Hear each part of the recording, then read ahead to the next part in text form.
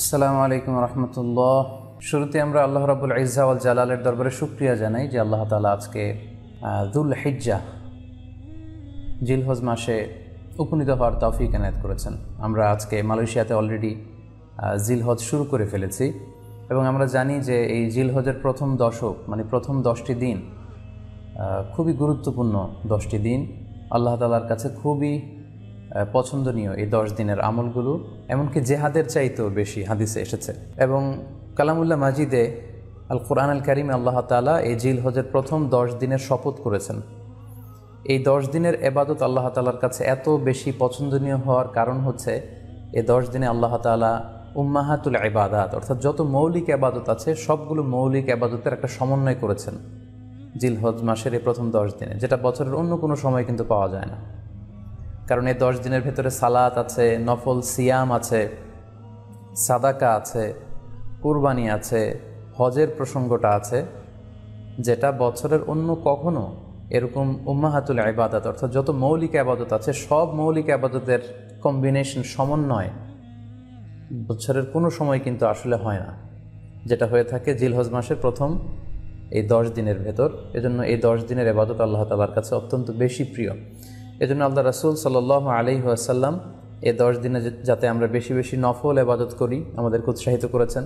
পাশাপাশি আমরা যেন বেশি বেশি তাহমিদ, তাহলিল, তাকবীর দিয়ে এই দশটি দিনকে মুখরিত করে রাখি, এজন্য তিনি আমাদেরকে আদেশ করেছেন। এজন্য এই দশটি দিনে আমরা যেন বেশি বেশি সুবহান আল্লাহ আলহামদুলিল্লাহ ইলাহা ইল্লাল্লাহু, আল্লাহু আকবার, এই আজকারগুলো যেন আমরা বেশি বেশি পড়ি।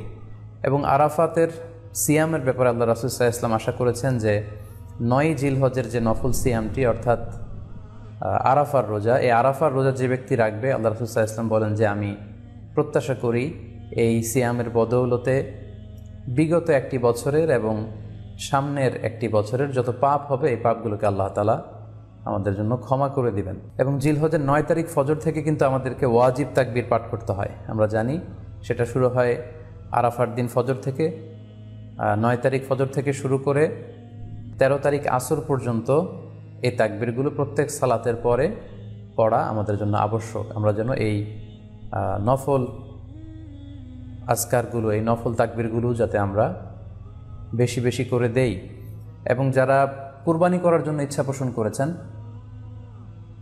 তারা যেন এই দশ দিনের আগেই তাদের মাথার চুল এবং নখ কেটে পরিচ্ছন্ন হয়ে যান।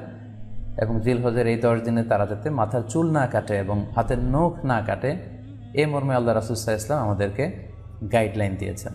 সব মিলে আল্লাহ তালার কাছে এই দশটি দিনের আবাদত খুবই প্রিয়, এমনকি হাদিসে এসেছে যেটা আমরা বললাম যে জেহাদের চাইতেও বেশি প্রিয়।